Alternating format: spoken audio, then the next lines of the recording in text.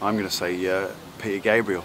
Um, I think even though, strictly speaking, well, here we go, the endless debate as to what prog rock is.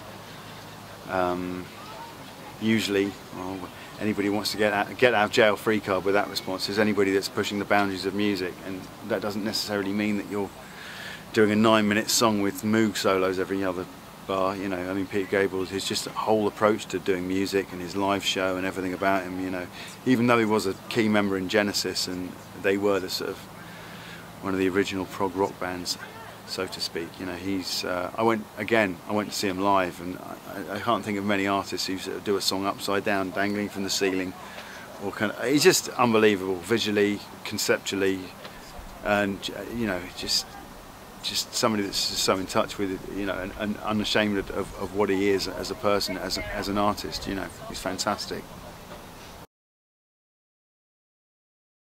I think the ideology should be the same. I think a lot of people think that copying a template I think we were discussing it earlier is progressive rock or progressive rock is a certain sound. Well that's absolutely nonsense.